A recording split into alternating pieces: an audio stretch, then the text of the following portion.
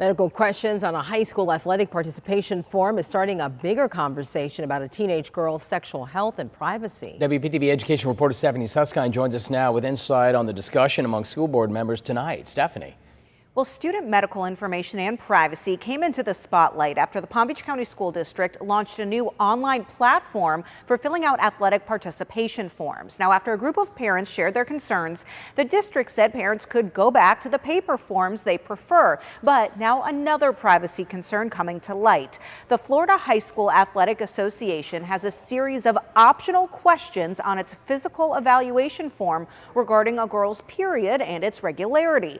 The questions have been on this form for athletic participation for years, but are now raising concerns about why they're necessary. So school board chairman Frank Barbieri tells me he wanted to have the discussion tonight so parents could understand this is not a school district decision.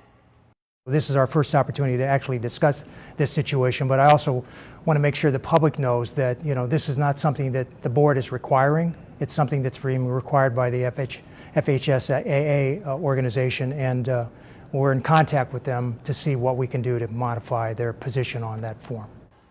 So board members agreed tonight that that information really is not necessary and they'd like to petition the state to remove those questions from athletic eligibility forms. So the board says it will work on a letter of support to amend the form before the FHSAA meets again next month. Stephanie Susskind, WPTV News Channel 5.